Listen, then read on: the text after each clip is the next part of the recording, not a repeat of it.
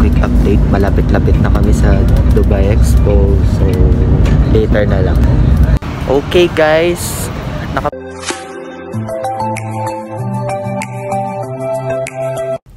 What's up, Lodi Pops? It's James and welcome to my YouTube channel. So for today's video, we're going to Dubai Expo.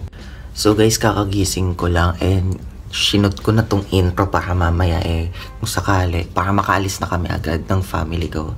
So guys, naisip ko baka magkaroon ng part 2 tong vlog. Kasi for sure, marami kaming lilibutin dun sa Dubai Expo. Marami kaming pupuntahan, papasyalan. So, yeah. Let's go!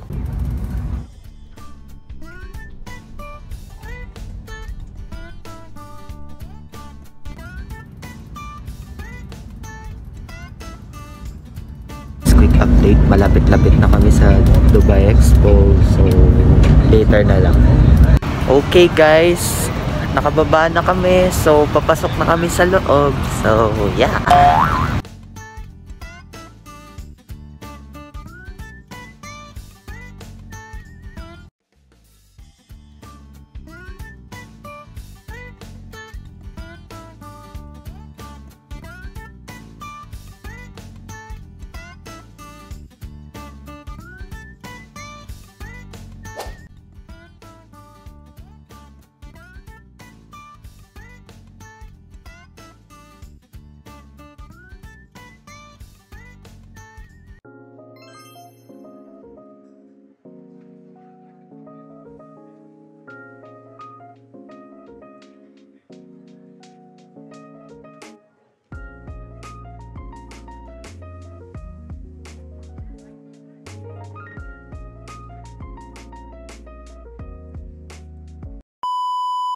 Okay guys, this is the passport of Dubai Expo.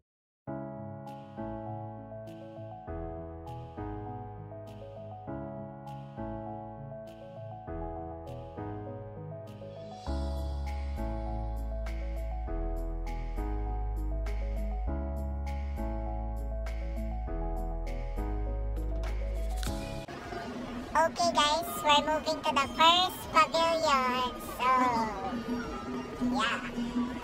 Jimmy!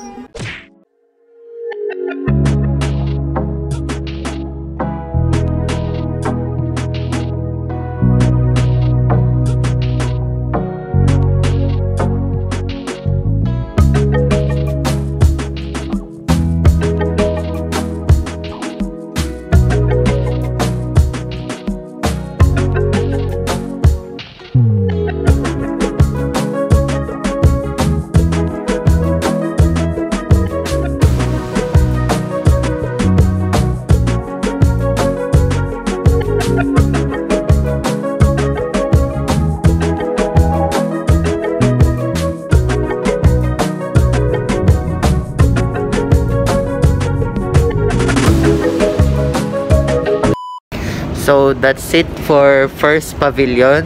Hindi siya ganun kalaki, pero meron siyang screen na nadaanan kami doon. Tapos, tapos simple lang siya, hindi siya ganun kalaki. Basta may ano siya, may mga souvenir din siyang.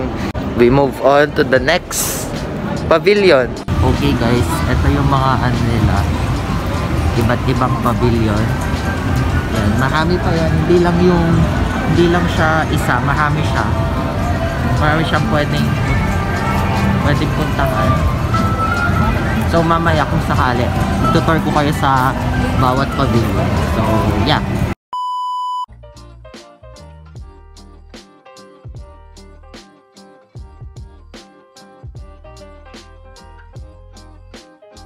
So guys we're here at the Bahrain pavilion. So puro siya pa bakal.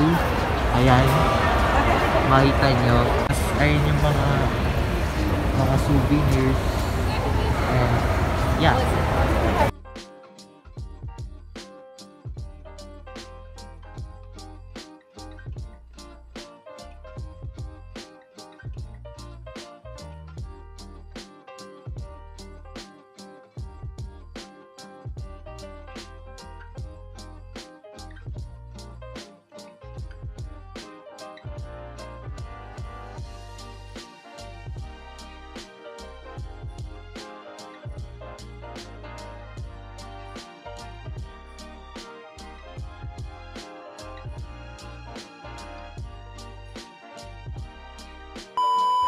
So guys, this would be the next pavilion. Rock. So yeah.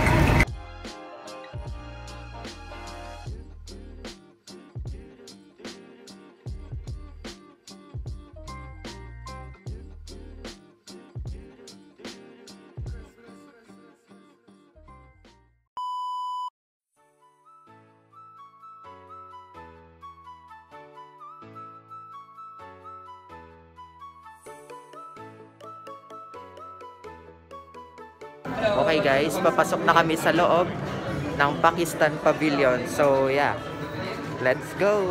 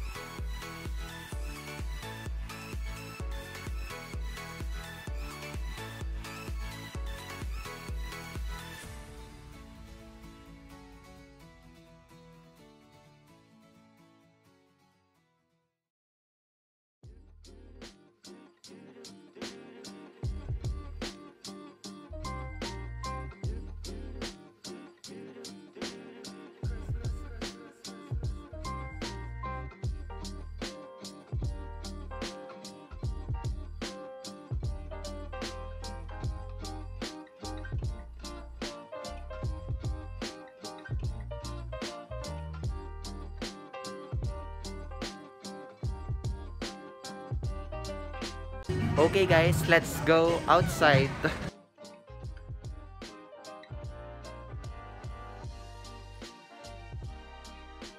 Wow.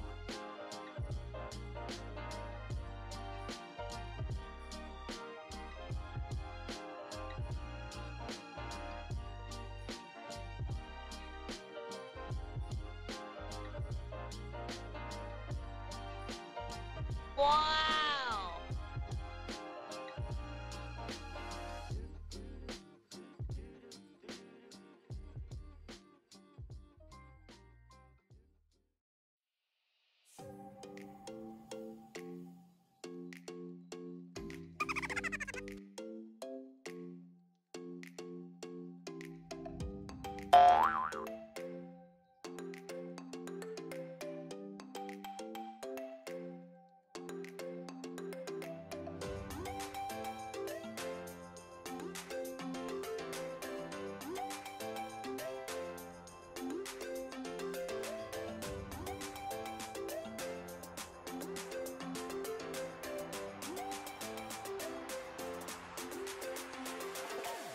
Okay guys, nakalabas na kami ng Pakistan Pavilion. So, so maganda. Kung nakikita nyo, maganda yung mga ano doon.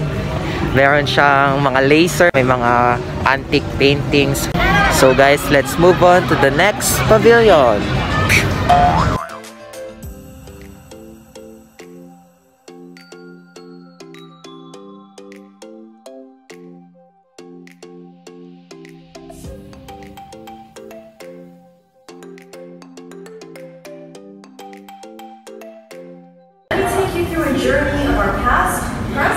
And future. 2,000 islands, arranged on top of the backdrop of the Sakat Jagat batik motif.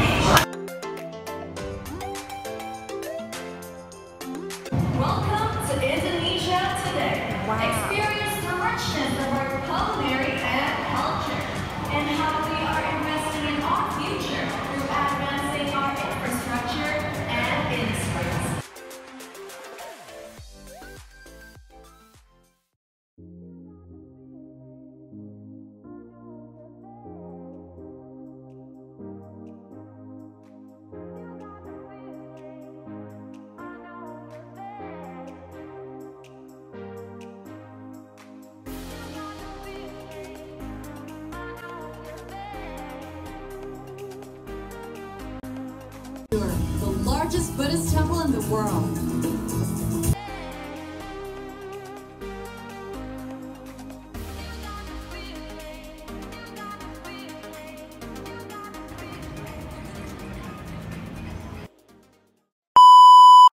So that's it, Pansit for part 1.